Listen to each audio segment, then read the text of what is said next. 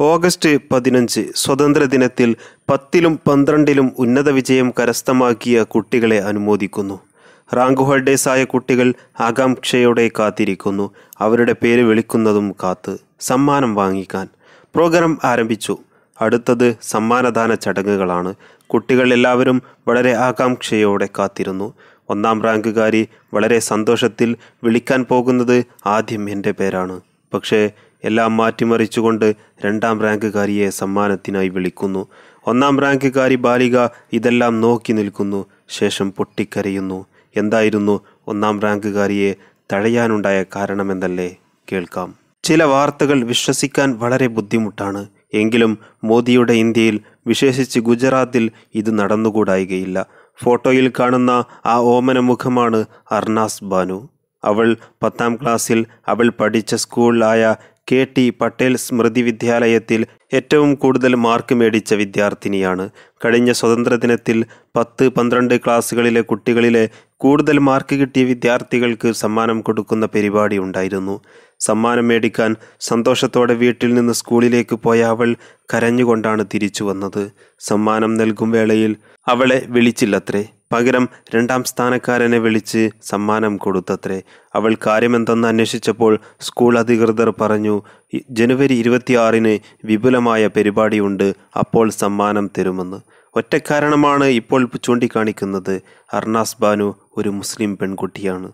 ഏതായാലും സമൂഹ മാധ്യമങ്ങളിൽ ഇത് വലിയ ചർച്ചയായിട്ടുണ്ട്. സലീൽ ത്രിപാഠിയെ പോലുള്ളവർ ട്വിറ്ററിൽ മോഡി ഫീൽഡ് ഇന്ത്യ എന്ന് പരിഹസിച്ചിട്ടുണ്ട്. ഹിന്ദു രാഷ്ട്രം ഇങ്ങ് വന്നു കഴിഞ്ഞാൽ ഇതൊക്കെ സാധാരണ സംഭവമാകുമെന്നത് സംശയിക്കേണ്ടതില്ല.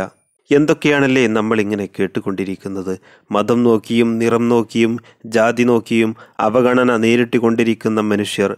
എത്ര മനുഷ്യരാണ് ഇങ്ങനെ? ഓരോ വിദ്യാർത്ഥികളുടെ മനസ്സിലും ജാതിയുടെയും മതത്തിന്റെയും ദുഷിപ്പ് മനസ്സിൽ കുത്തിവെക്കുന്നവർ. സൗഹാർദ്ദവും അപരസ്നേഹവും പഠിപ്പിക്കേണ്ട ഇടത്തിൽ അവർക്ക് കിട്ടുന്നത് ഇത്തരം വിദ്യാഭ്യാസങ്ങളാണ്. പിന്നെ എങ്ങനെയാണ് നമ്മുടെ ഇന്ത്യ രാജ്യത്ത് നമ്മുടെ ഇന്ത്യ രാജ്യത്ത് പ്രതിഭാധനരായ വിദ്യാർത്ഥികൾ വളർന്നു വരിക? നിങ്ങളൊന്ന് ആലോചിച്ചു നോക്കൂ. മുസ്ലിമായി എന്നതിന്റെ പേരിൽ ആ പെൺകുട്ടി നേരിടേണ്ടി വന്ന ഈ ഒരു അവഗണനയ്ക്ക് ആര് ഉത്തരം പറയും? അത്യാവശ്യമൊക്കെ പഠിക്കാൻ മിടുക്കനായ പെൺകുട്ടി ഇനി എങ്ങനെ പഠിക്കും? നീ ഒരു മുസ്ലിമാണ് അതുകൊണ്ട് നിനക്ക് സമ്മാനമില്ല എന്ന് മുഖത്ത് നോക്കി പറയുന്ന ആട്ടിയോടിക്കുന്ന ഒരു സമൂഹം നമ്മുടെ ഇന്ത്യ രാജ്യത്ത് വളർന്നുകൊണ്ടിരിക്കുന്നു. പക്ഷേ അവരോടൊക്കെ ഒന്നേ പറയാനുള്ളൂ നിങ്ങളുടെയൊക്കെ അവാർഡിനേക്കാളും സമ്മാനത്തെക്കാളും പടച്ചവൻ തന്ന ഏറ്റവും വലിയ സമ്മാനമാണ് മുസ്ലിം എന്ന ഈ ഐഡന്റിറ്റി അതാണ് ഞങ്ങളുടെ ഏറ്റവും വലിയ അവാർഡ്. അതിനേക്കാൾ അതിനെ കവച്ചു വെക്കുന്ന വലിയൊരു അവാർഡ് വേറെയില്ല. അത് നിങ്ങൾ കൊത്തി നുറുക്കിയാലും ഞങ്ങൾക്ക് ഒഴിവാക്കാൻ കഴിയില്ല. എനിക്ക് ഈ വാർത്ത കേട്ടപ്പോൾ നമ്മുടെയൊക്കെ വീടുകളിലെ കൊച്ചുമക്കളെയാണ് ഓർമ്മ വരുന്നത്. അവർക്കൊക്കെ സ്കൂളിൽ നിന്ന് മദ്രസകളിൽ നിന്നൊക്കെ ചെറിയൊരു സമ്മാനം കിട്ടുമ്പോഴേക്കും അവരുടെ മനസ്സിൽ എത്രമാത്രം സന്തോഷമാണ്. അല്ലെങ്കിൽ സമ്മാനം കിട്ടിയില്ലെങ്കിൽ അടുത്ത സുഹൃത്തുക്കൾക്ക് സമ്മാനം കിട്ടിയാൽ എന്തെങ്കിലും കാരണത്താൽ സമ്മാനം കിട്ടാതെ പോയാൽ മാർക്ക് കുറഞ്ഞു പോയാലും അവർക്കുള്ള സങ്കടം എത്രയാണ്? മാർക്ക് കിട്ടിയിട്ടും എല്ലാം ഉണ്ടായിട്ടും സമ്മാനം കിട്ടാതെ മാറ്റി നിർത്തുമ്പോൾ അവർക്കുള്ള സങ്കടം പറഞ്ഞറിയിക്കാൻ കഴിയില്ല. അവരുടെ ചെറിയ കഴിവുകളെ അവരുടെ മനസ്സിൽ നിന്ന് തളിർത്ത് വിടർന്നു വന്നുകൊണ്ടിരിക്കുന്ന കഴിവുകളെ മുളയിലെ നുള്ളിക്കളയുന്ന പ്രവണത. എന്തു തന്നെയായാലും അംഗീകരിക്കാൻ കഴിയില്ല.